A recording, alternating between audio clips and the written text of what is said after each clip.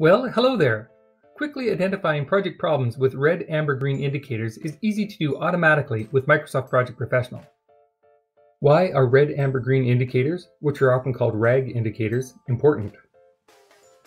They help you easily target problems and create plans to get out of trouble fast. With custom text and numeric fields, Microsoft Project provides access to help you create almost any type of indicator you need. What type of troubles can you find with RAG indicators? Technical schedule problems like summary tasks with resources, tasks without assignments, tasks without relationships, and more. Progress problems like tasks that are running late, tasks that are taking longer than expected, and others. Here's a thought. When you're creating your RAG indicators, build your dashboard for accessibility. About 5% of your audience may be colorblind and not able to distinguish between colored indicators. Use icons that include both color and meaningful shapes. If you're watching on YouTube, please subscribe to our channel and hit the bell to get notifications about new content like this. If you're watching on LinkedIn, please like, comment, or share. Let's have a look at how to set up indicators in Microsoft Project.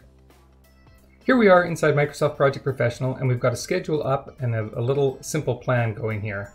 And you can see that we've got two columns that are already set up as indicators with red, amber, green symbols showing up. So we've got tasks that are complete We've got tasks that are in jeopardy, and we've got tasks that are late. Underneath each of these columns, if we look inside these, we've got custom fields that are set up, and inside these, we've got some formula set up.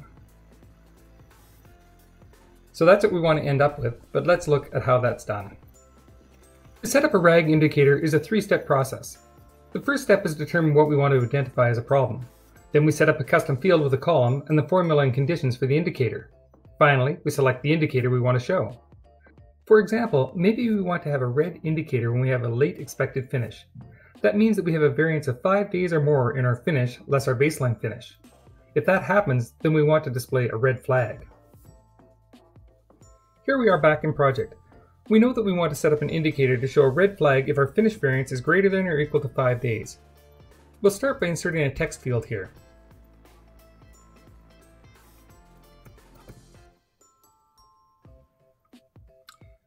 Then we'll customize that field and we'll use the Formula Builder option.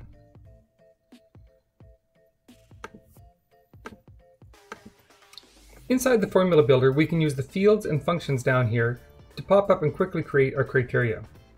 First from the function, we'll pick the if function from the general group. This drops in the expression builder, and here we can expand on this to replace the elements to get the equation that we need. So we'll go down here and from our date field, we're going to pick our finish date. We're going to subtract from that the baseline finish.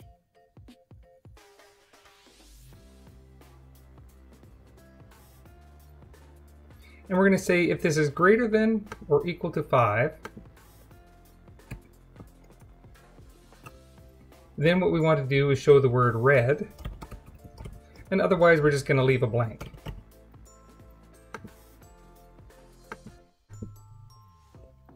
There's our column, but there's nothing showing in it. What happens if we change one of these dates? So let's go to our framing here and we'll move this up to five days. Still nothing, but we have impacted our rag on duration indicator. Let's move this up a little further. Now we're showing red across all of these here, but we don't want to show the word red, we want to show a red flag. So let's go back and set that.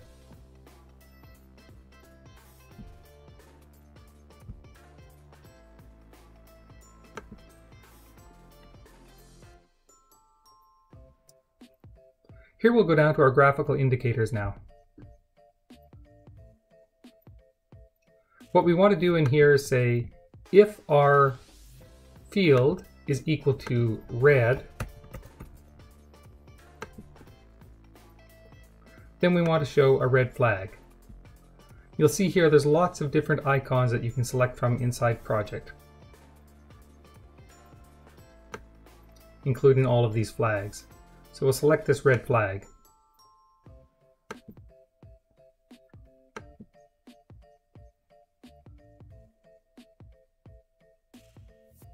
Now the word red changes to the red flag the whole way down.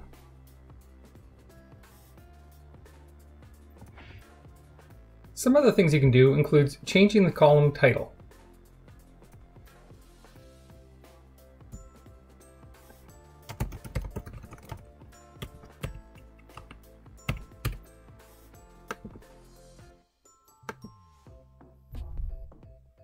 You can also use the quick filters to quickly zero in on some of these problems.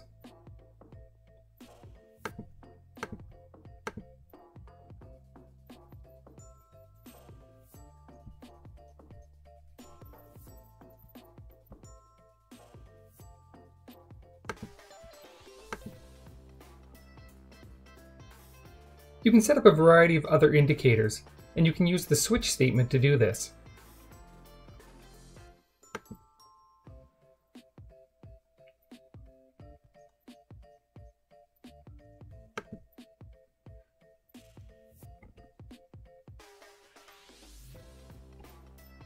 We've provided a number of examples of these in the YouTube description below. We hope this was helpful to you. If you have any questions about setting up RAG indicators, please leave those in the comments below. Western Principles is a Microsoft Gold project and portfolio management partner and a UMT 360 Gold partner. We know Microsoft Project, Project for the Web, and Azure DevOps and can help you with all aspects of your project and portfolio management.